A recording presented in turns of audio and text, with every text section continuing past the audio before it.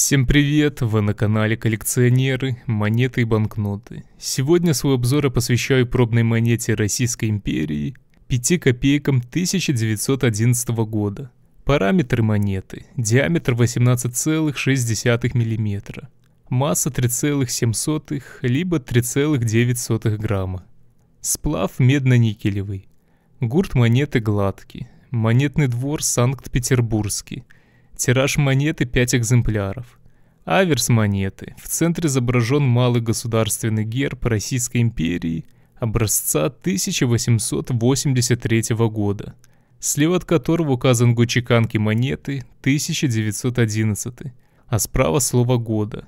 Слева от хвоста имеется буква «Э», а справа буква «Б». Это инициалы мисмейстера. Реверс монеты. В центре указан номинал монеты число 5. Оно окружено кольцом из точек. В верхней части монеты имеется надпись «Российская монета». В нижней указан номинал 5 копеек.